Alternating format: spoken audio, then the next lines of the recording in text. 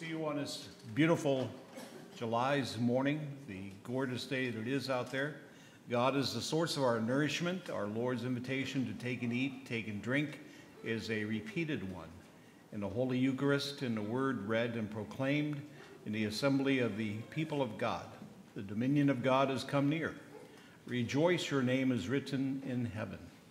This worship service is being recorded, broadcasted live, so that our shut ins and others who are unable to be here with us can hear God's message. Please continue to pray for our children, homebound, those who are ill, serving in the military, and our family and friends. VBS is coming up on Monday, July 22nd to the 25th, 6 p.m. to 7:30 p.m. All ages, ages, all children, ages three through the third grade, are welcome to come and learn to love our Lord through stories, crafts, games, snacks, and more. Uh, join us for a midweek service on Wednesday evenings at 7 o'clock p.m. I apologize about this past Wednesday, but my wife had wrist surgery, suddenly came up, and uh, she broke her wrist in uh, several places. And I told her to stay out of those places, but that's where she. An old vaudeville joke. Yeah. Uh, but anyway, she fell off a ladder, so please don't go climbing on ladders. Uh, she's already been yelled at many times, but you can yell at her too this morning. The more the merrier. Uh, but she's doing well and recovering, and she's here with us this morning. But I do apologize for last Wednesday because it suddenly came up and we did, weren't able to get a replacement. But I'll be here Wednesday, unless you're going to climb another ladder. Are you going to climb? Okay. St. Mark's Lutheran at Domersville and Nagle Roads has having an ice cream social on Sunday, July 14th from 11 a.m. to 1 p.m. Lunch items and treats will be available, including a bake sale. The proceeds will be used for missionary sponsorship and Sunday school. Please let the office know if you have any update, updated contact information, and information is on a bulletin board how to view the church services online. Were there any other announcements, prayer concerns? It is good to see you, one and all. In the name of the Father, and of the Son, and of the Holy Spirit. Amen. Almighty God, to whom all hearts are open, all desires known, and from whom no secrets are hid, cleanse the thoughts of our hearts by the inspiration of your Holy Spirit, that we may perfectly love you and worthily magnify your holy name through Jesus Christ our Lord. Let us confess our sin in the presence of God and of one another.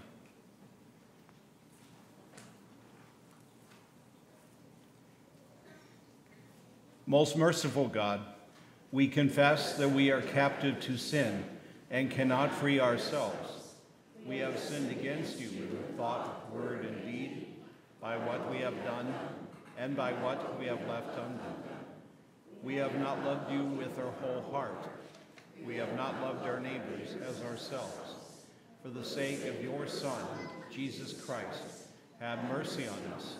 Forgive us, renew us, and lead us, so that we may delight in your will and walk in your ways, to the glory of your holy name. Amen.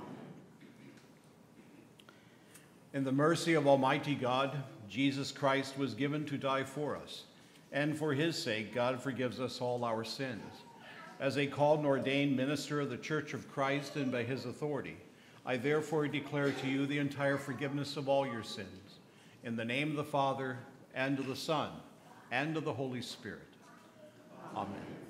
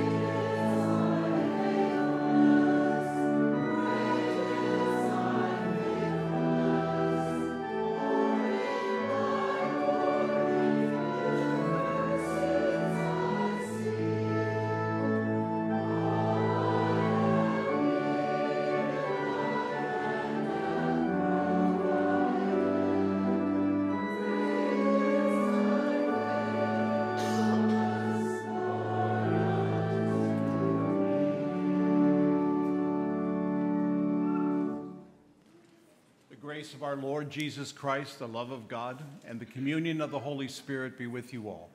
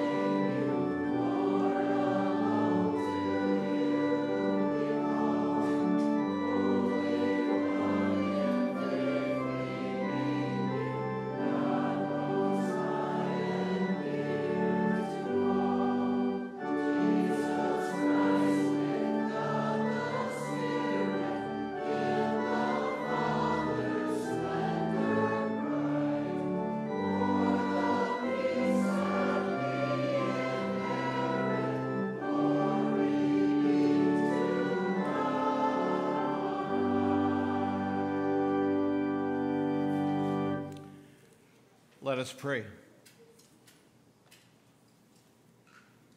O God, the Father of our Lord Jesus, you are the city that shelters us, the mother who comforts us. With your Spirit, accompany us on our life's journey, that we may spread your peace in all the world. Through your Son, Jesus Christ, our Savior and Lord. Amen.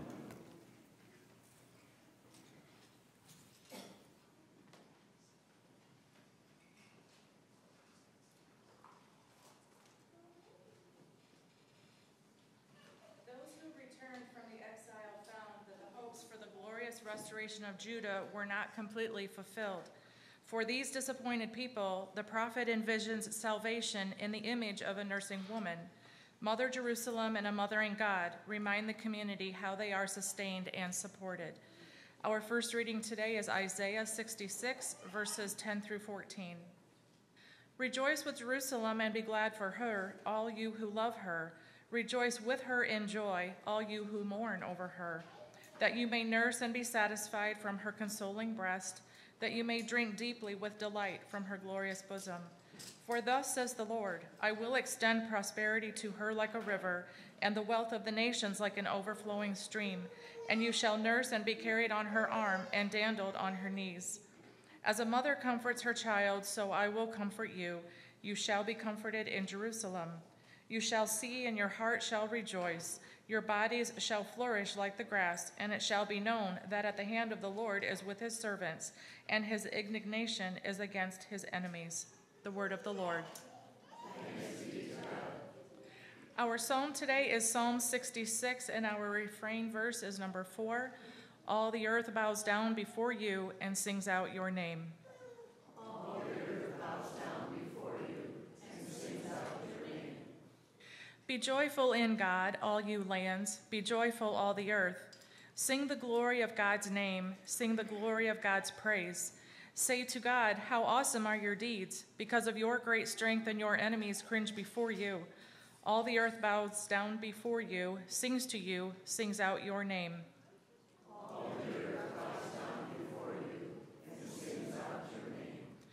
Come now and see the works of God. How awesome are God's deeds toward all people. God turned the sea into dry land so that they went through the water on foot, and there we rejoiced in God. Ruling forever in might, God keeps watch over the nations. Let no rebels exalt themselves. Bless our God, you peoples. Let the sound of praise be heard. Our God has kept us among the living and has not allowed our feet to slip.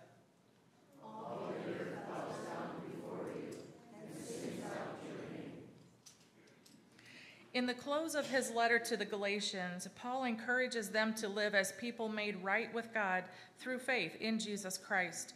Here, Paul offers practical advice about how believers exercise common concern for one another in the family of faith. Our second reading today is Galatians 6 1 through 6 and 7 through 16. Do not be deceived, God is not mocked, for you reap whatever you sow. If you sow to your own flesh, you will reap corruption from the flesh. But if you sow to the Spirit, you will reap eternal life from the Spirit. So let us not grow weary in doing what is right, for we will reap at harvest time if we do not give up. So then, whenever we have an opportunity, let us work for the good of all, and especially for those of the family of faith. See what large letters I make when I am writing in my own hand? It is those who want to make a good showing in the flesh that try to compel you to be, to be circumcised, only that they may not be persecuted for the cross of Christ. Even the circumcised do not themselves obey the law, but they want you to be circumcised so that they may boast about your flesh. May I never boast of anything except the cross of our Lord Jesus Christ, by whom the world has been crucified to me, and I to the world. For neither circumcision nor uncircumcision is anything, but a new creation is everything. As for those who will follow this rule, peace be upon them, and mercy, and upon the Israel of God. The word of the Lord.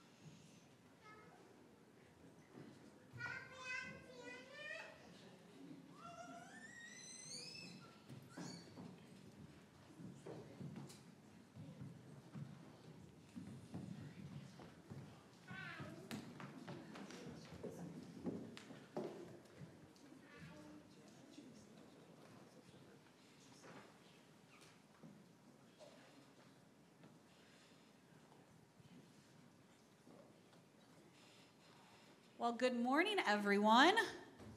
Good morning. How are you guys today? Good. Okay, what I want you to think about this morning is the playground and your most favorite thing to do on a playground. Who can tell me their most favorite thing to do on a playground, Zach? Monkey bars. You gotta have monkey bars. Zeke, what do you like? Climbing to the very top? Oh boy. Tell me, Will. A spinny slide, that's good. Aubrey, what do you like? Swings, that's classic. Leah, what do you like? The swings too? Oh, I'm glad that you guys are knowledgeable on your playground. So I want to tell you a story. Okay, so imagine the bestest playground in the whole world. There was a kid about your age that was going to go to it. So he went to the bestest playground and he got back, and his friend said, Oh, tell us about it. How were the swings? And the boy said, mm, I didn't go on the swings because I thought I might fall off of them. And they said, Okay, well, how were the monkey bars? Were they really long and far? And the boy said, mm, I didn't go on the monkey bars because they kind of scared me. So then his friend said, Okay, well, what about climbing to the very top? Did you do that? And the boy said, mm, No, it looked too high, so I didn't. So his friend said, Well, what did you do on this best playground in the world? And he said, I played it safe. I just sat there and looked at it. So, the boy probably did play it safe. There is a chance you could get hurt on a playground, but he missed out doing all the great things you can do on a playground. And we're going to hear in our Bible story that Jesus is talking to a group of 70 people and he tells them to go out not go out to the best playground in the world, but go out and spread the word of God. And he said, You're going to see some great things. You're going to be welcomed into people's homes. You can eat with them, drink with them, share the peace with them. Now, Jesus said it might not go great. You might get hurt. There might be people that will reject you, but Jesus doesn't want them to sit on the sidelines and just watch. He said, Go, and guess what? I'll be with you. And that's what Jesus promises us too. He doesn't want us to just sit on the sidelines and watch the world go by. He wants us to go, be in it, spread his word, and guess what? He'll be with us. So, can we pray about that this morning, boys and girls? Dear Lord, thank you for sending us out into the world. We know it might be scary, but you know that we know that you will be with us. Be with us always and help us share your love. In your name we pray. Amen. Thank you all for coming up this morning.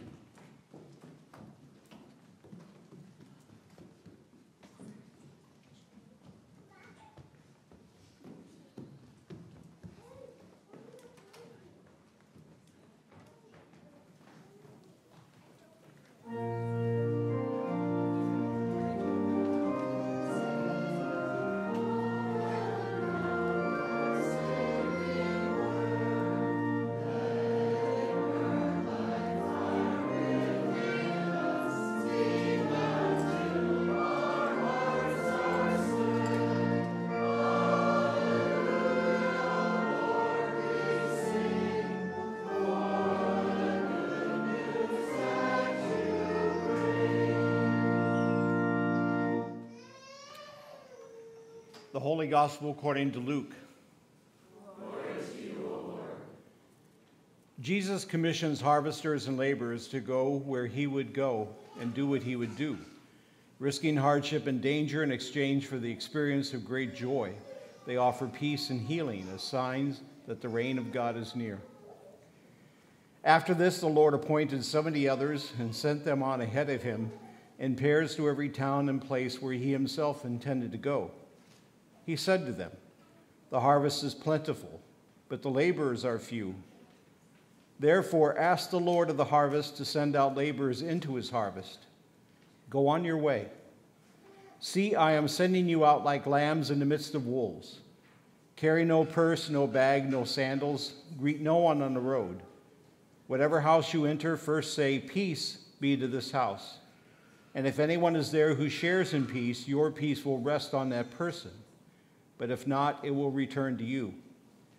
Remain in the same house, eating and drinking whatever they provide, for the laborer deserves to be paid. Do not move about from house to house. Whenever you enter a town and its people welcome you, eat what is set before you. Cure the sick who are there, and say to them, The kingdom of God has come near to you. But whenever you enter a town and they do not welcome you, go out into its streets and say, even the dust of your town that clings to our feet, we wipe off in protest against you. Yet know this the kingdom of God has come near. Whoever listens to you listens to me.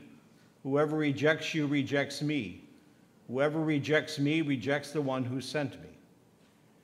The 70 returned with joy, saying, Lord, in your name even the demons submit to us. And he said to them, I watched Satan fall from heaven like a flash of lightning. See, I have given you authority to tread on snakes and scorpions over all the powers of the enemy, and nothing will hurt you. Nevertheless, do not rejoice at this that the Spirit submits to you, but rejoice that your names are written in heaven. The Gospel of the Lord.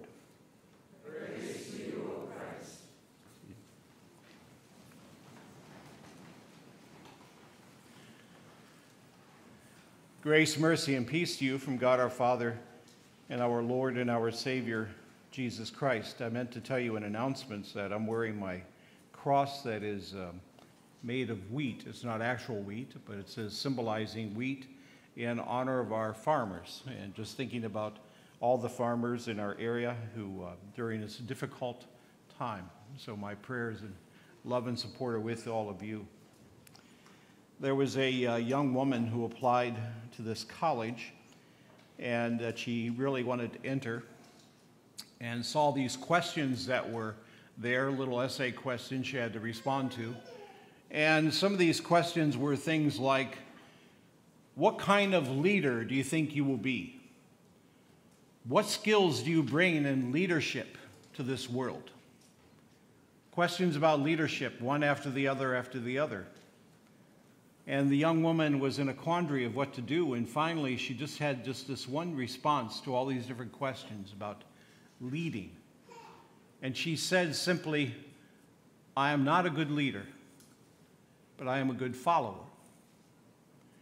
The administration's director, when he saw that, was kind of amazed, taken back. Never gets letters like that for college applications, but he called her up and he said, You are accepted into our university. He said, At least we can be guaranteed that there will be one good follower.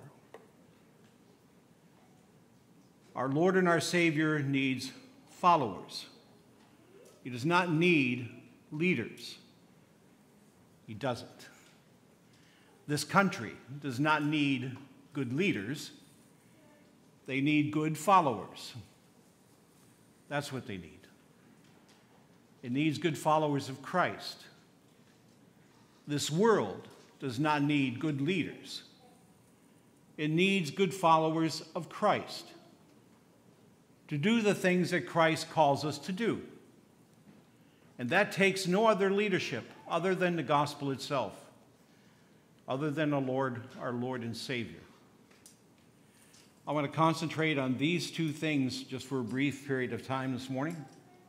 One line from the gospel Jesus says, The harvest is plentiful, but the laborers are few. And in the book of Galatians, it reads, Let us not be weary in doing what is right. Let's not be weary in doing what is right. Uh, I was raised in a uh, maybe mentioned before, I was raised in a very small ranch style house in Sandusky, Ohio, with four boys in one room, four girls in the other. My parents had the other room. For a while, my aunt and uncle and my two cousins lived with us as well. So there were 14 of us in this very, very small house. We had one bathroom. And of course, you could not spend much time inside the bathroom. I didn't for one particular reason, not because I was very generous with my time in there, but because right across from the toilet seat, just about the same height that a young boy would be able to see, there was a tile right above the bathtub. And this tile had this witch in it. I was convinced it was a witch. And she had her hand outstretched like this, ready to grab me. And that tile absolutely petrified me. So I went in there and I did my business and I was out very, very quickly. It's amazing when you believe something is real, what it can do to you. Everything changes. I always say it's not reality, that determines what we do, it's what we think is real, what we believe to be real. That is what changes everything. The harvest is plentiful, but the laborers are few. We're not even sure what kind of work we can do. I, um, I have this formula I think is always true, and I might have mentioned that before, but in my book that I'm never going to write, this would be one of the chapters. I think the more that we know someone, the more that we know something, the more we understand, the more compassion we have. I don't care who that person is, I don't care what the situation is. I think the more we understand that person, the more we understand that thing, the more compassion we have. I think that's how Christ operated. And the more compassion we have, the more we have to do something about it. That's why we really don't want to understand so much. Because we have to do something about it. Christ calls us to do. And that, of course, is a whole lot of work. Um, I love history, absolutely love history. And I think it's amazing down through history, it has always amazed me that Christians in history can be on two different sides of an issue, both believing that they are doing the right thing. But the fact of the matter is, is that someone's wrong. I don't believe in a world that has a lot of gray areas. You may, I don't. I think everything is right or wrong. I think everything is black or white. You know who confuses it? We do. We're the ones who mess it up. And we're the ones who don't understand.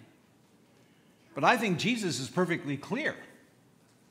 This is the right path, he says. But you just don't want to take it. The harvest is plentiful, the laborers are few. Slavery, I mean, that's the one that just absolutely astounds me. We just celebrated our, our, uh, the 4th of July here in this country, which we uh, should do. What an amazing time. I love studying Revolutionary War. It's one of my favorite periods of history, that time period. But we had 12 of our early presidents, 12 of them who owned slaves. Isn't that incredible? Most of the first several ones did. Washington did, of course, Jefferson, Monroe, Madison, etc. And people say, well, you know, it was the times. People just believed in slavery back then. They just believed in it. Well, not everyone did. John Adams, John Quincy Adams, they were what is called abolitionists. They were 100% against slavery. They were against it on moral grounds.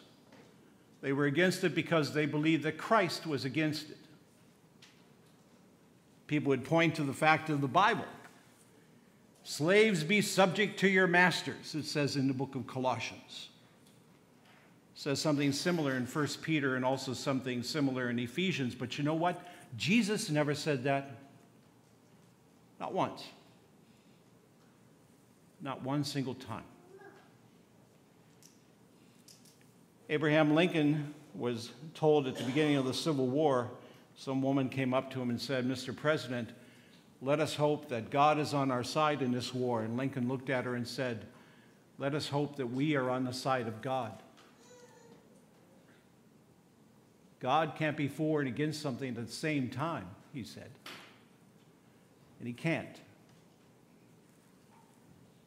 So, where do we go with that? Here's my way of understanding, at least I try in my own feeble way, and I'm not saying I get it right all the time.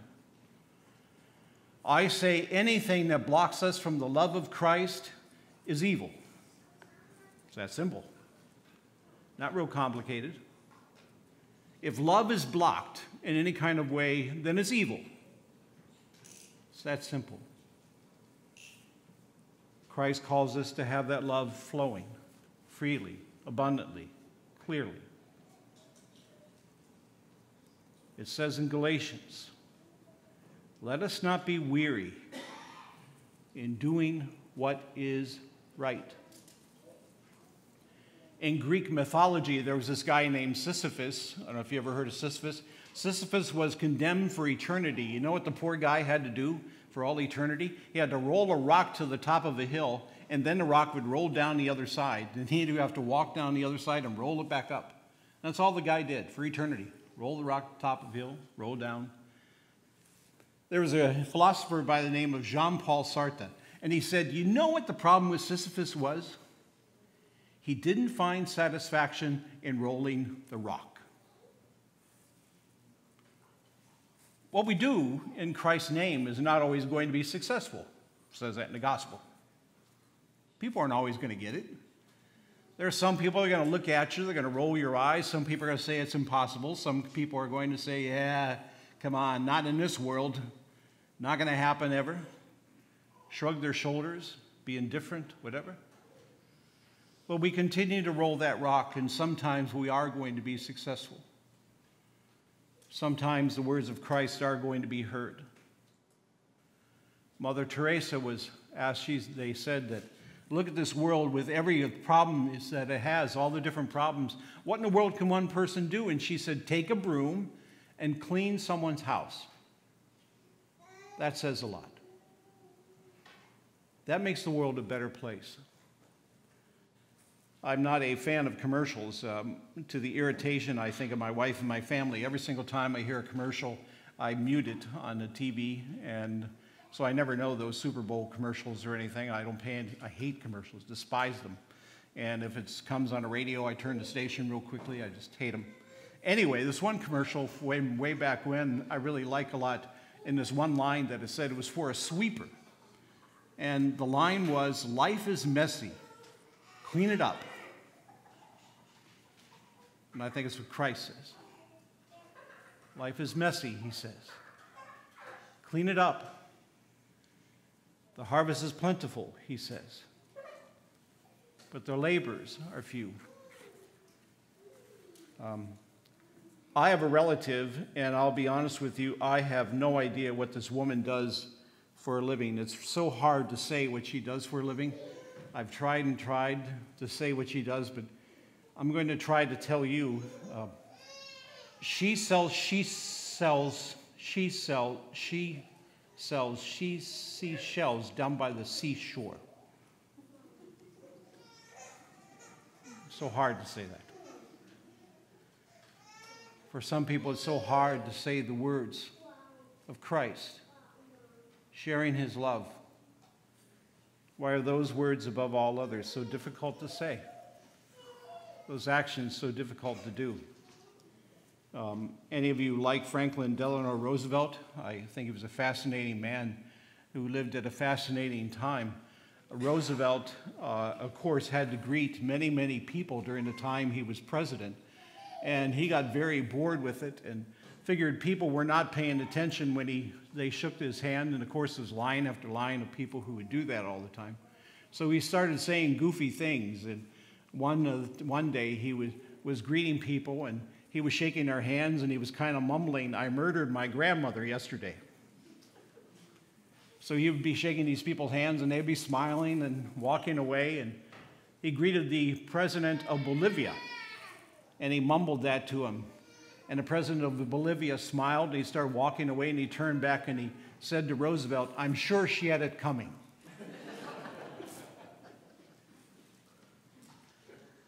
Some people hear, some people do. Some people will actually hear, some people will pay attention to when we try to share this love of Christ. The world in certain places will take notice. Not everyone, not everywhere. But each of us can have that impact in changing things the way they should be. But we need to be creative.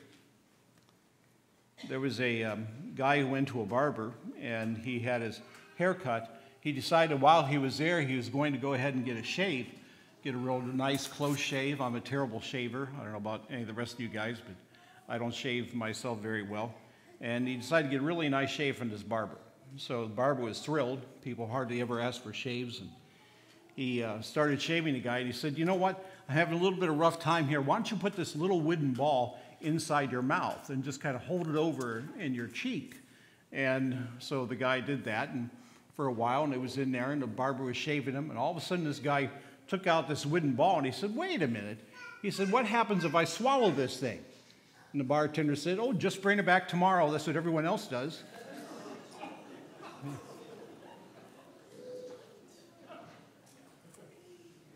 We must not be doing the same thing time after time, day after day. That is what's called insanity, you know, expecting different results. Evil in this world is incredibly creative. And evil in this world changes day after day after day after day. The love of Christ has to be shared creatively, time after time, in a whole different fashion. Look how many ways God has shared his love with us. So we need to think of ways that we can share it with one another. Um, Elizabeth Keckley was the uh, seamstress for Mary Todd Lincoln. Uh, it's a fascinating story. Uh, uh, if you want something interesting to read, read about her life. She was a slave at one time before she became the seamstress for Mary Todd Lincoln. She was also a close advisor and a very, very good friend, probably her best friend for Mary Todd Lincoln. And Elizabeth Keckley said this I know what freedom is because I know what slavery is. See, I don't think we know what to do with freedom. I don't. Unless we know what slavery is. Do we understand what we are slaves to sometimes in this life? I think we understand what we are freed from, but I'm not sure we understand so much what we are freed to do. I have my own personal problems, my fears, my disappointments, my lack of hope at times, my anger, my own problems that I have that I can be freed from if I'm listening to my Lord, paying attention to his love. And then I know glimpses of freedom. We have the freedom to share that truth. We have the freedom not to. Uh, there were four ministers on their way home from a conference, and they were very moved by the worship service there, and uh, they were in a car together talking. And the one minister turned to the others and he said, uh, I have to confess something to you people. He said, I have had affairs with many members in my congregation. He said, I feel terrible about that.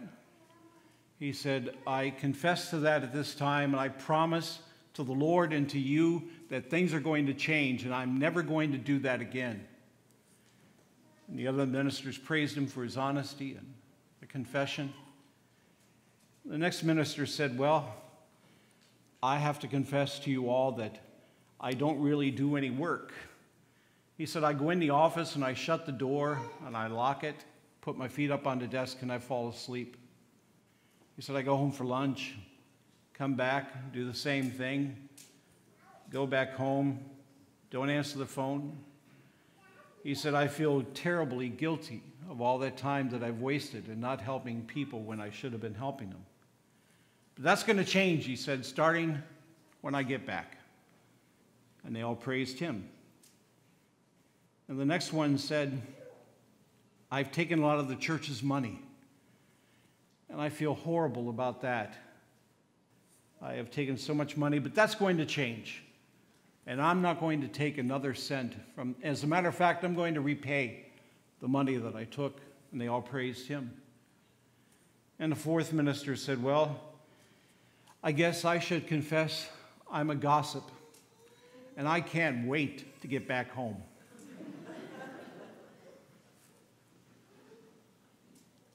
Wouldn't it be nice if what we couldn't wait to do is we couldn't wait to get back home to find some new way to share the love of Christ?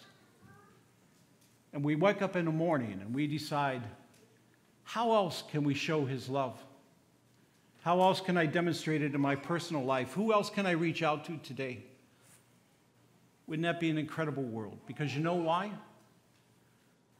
The harvest is plentiful, but the labors are few. And we must not grow weary in trying to do what is right. Amen.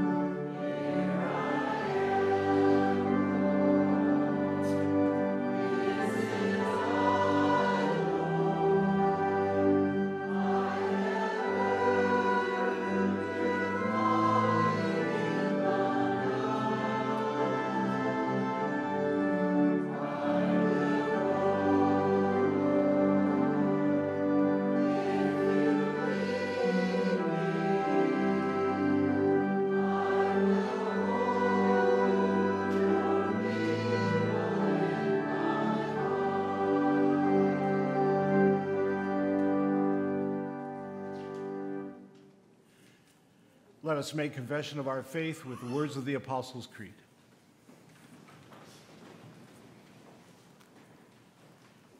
I believe in God, the Father Almighty, creator of heaven and earth. I believe in Jesus Christ, God's only Son, our Lord, who was conceived by the Holy Spirit, born of the Virgin Mary, suffered under Pontius Pilate, was crucified, died, and was buried. He descended to the dead. On the third day he rose again. He ascended into heaven. He is seated at the right hand of the Father and he will come to judge the living and the dead. I believe in the Holy Spirit, the Holy Catholic Church, the communion of saints, the forgiveness of sins, the resurrection of the body, and the life everlasting. Amen. Joining our voices with God's people around the world, let us offer our prayers for those in need. For the church and its ministries, for pastors and musicians, for teachers and leaders, that their joyful noise clearly announce your reign of peace come near. Let us pray. For your works revealed in creation, for rivers and streams, for thunderstorms and sunshine, for those preparing for harvest time, that you inspire our care for the earth, let us pray. For peace and justice in the world, for all levels of government, for areas affected by strife, that those in authority always work for the good of all, bringing your justice to all people. Let us pray. For the sick and those who console them, for prisoners and those who show them mercy, for the downtrodden and those who help them flourish, for those suffering from malaria and Zika and all in need of care, including Norm, Dave, Leona, and Florence Lorna, Marlene, and Tricia, Marv, Jean, and Lauren. For Carol, Tamika, Macy, Ron, Roger, PK, and Steve. For Brady, Marion, Ann, Hal, and Nick. For Renee, Delia, Jane, Dawn, Adam, Larry, Rick, and Thayer. For Rob. For the family of Emily Jackson. For all those we name now in our hearts.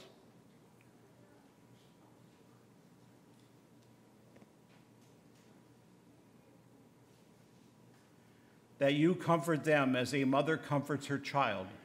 Let us pray. For those spending time with friends and family this summer, for those making employment decisions, for those uncertain what the future holds, that they set their minds on Christ who has called us to himself, let us pray. In thanksgiving for the faithful departed who have inspired us by their witness to the gospel that with them we will know the confidence of being held in your embrace. Let us pray. Merciful God, you hear the prayers of your people even before they are spoken. We commend these and all of our prayers to you, trusting in your abundant mercy. Through Jesus Christ, our Savior and Lord. Amen. The peace of Christ be with you always. With you. We share the peace.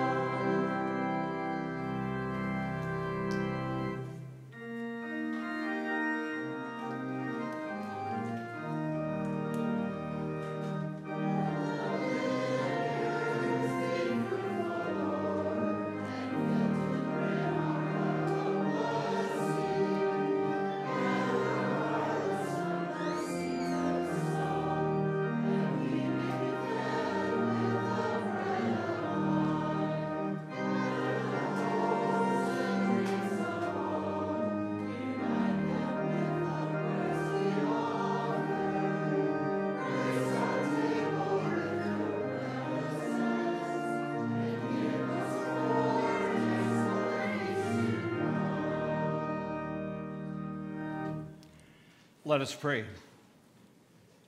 Holy God, gracious and merciful, you bring forth food from the earth and nourish your whole creation. Turn our hearts toward those who hunger in any way, that all may know your care. Prepare us now to feast on the bread of life, Jesus Christ, our Savior and Lord. The Lord be with you.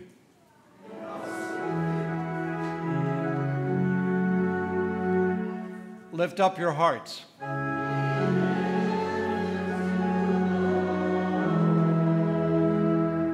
Let us give thanks to the Lord our God.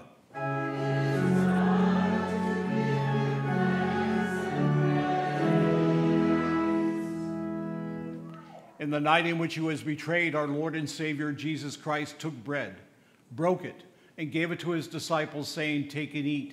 This is my body, which is given for you. This do in remembrance of me. After the same manner, he took the cup, gave thanks, and gave it for all to drink, saying, This cup is a new covenant in my blood, which is shed for you and for all people for the forgiveness of sin. Do this in remembrance of me.